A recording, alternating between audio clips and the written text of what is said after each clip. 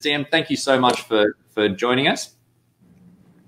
Hi everyone. Firstly, thank you so much, Ben, uh, from Pivot Wealth for having me on today. And uh, it's such a pleasure to be able to share my story with the audience. So thank you so much.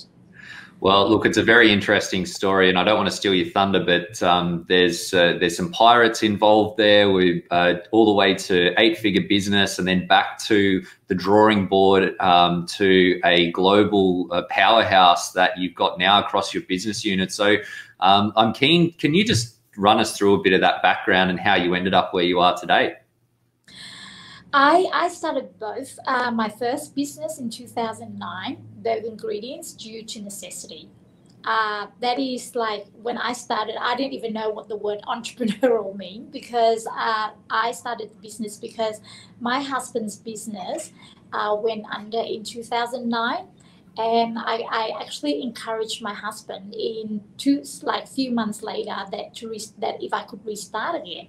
So I would say without the, the help of my family and um, and you know like the my, my children inspire me as well because back then they were only uh, four to six. So I want to actually always be an inspiration to my children. So for me, it was a necessity to get our feedback on the ground. So like I said, if I had to start the business by myself, it would be hard. So with my family, it was like a lot of people helping me to move that mountain. So for me, in the beginning, it was just, you know, a starting platform just to get the at the family just back to normality. That's how I started Berg Ingredients, how I found it in 2009. Wow, and and now you're operating in Australia, looking at you know export markets, and um, the business is a powerhouse. You supply to big uh, FMCG brands. Some of I think Woolworths is is a big customer uh, of yours, and uh, all of the stuff that comes along with that. Can you tell us a bit about how that growth came together, and was there a particular sort of tipping point where where things started accelerating? How did you set yourself up for success there?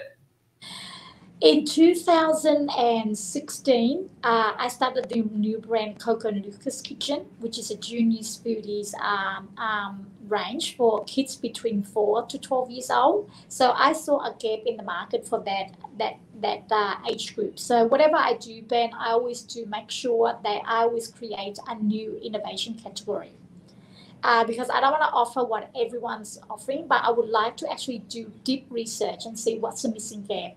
So I started the Junior Foodies, uh, inspired my, my daughter, uh, Coco, who's a fussy eater, and my nephew, who has all these, um, you know, he couldn't eat things that contains gluten, lactose, lupin, seafood, soya, fish. Mm. So that's how the brand was born because I see that there's a lot of food for babies between six months to two years old, and there's an abundance of range for adults, but there was that missing gap of junior foodies between the age group of four to 12.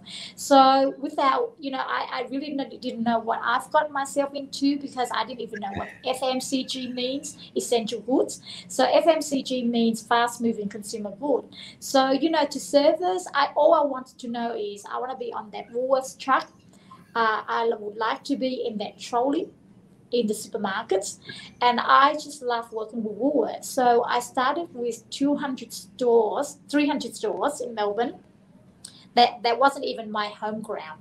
So uh, it took us a year to to get into like uh, the second state I've got was Perth, and then I've got Adelaide, then I've got Northern Territory, Queensland, Tasmania, and then Sydney. So gradually from 300 stores to 960 stores.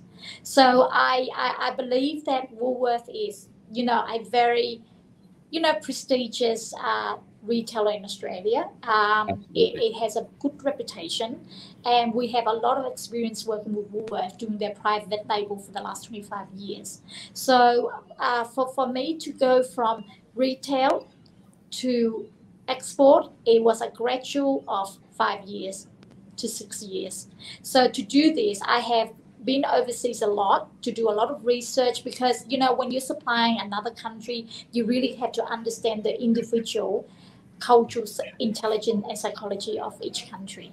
So I Mm. have been very, very lucky to be on a seven month program with the New South Wales Treasury and Investment uh, for seven months to learn about IP, registered trademark, labeling, uh, you know, all the, the different HS code.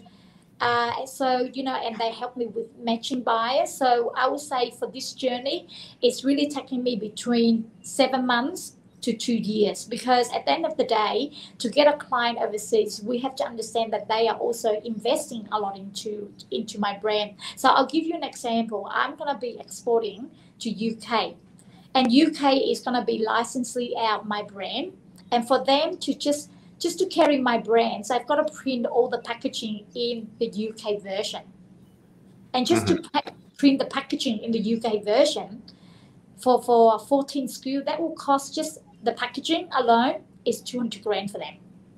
Wow. and they spend a lot of money on marketing. So, you know, it's about for me when I get a new client, then it's a lot of learning about them, a lot learning about my, they learning about me, and how can I work together with them to how best we launch the product in that new market. So I would say uh, the compliance and everything. Uh, that that's how I've got into. Uh, you know, it, it wasn't just about oh I want to export. It's a lot of background work with my team behind the scenes.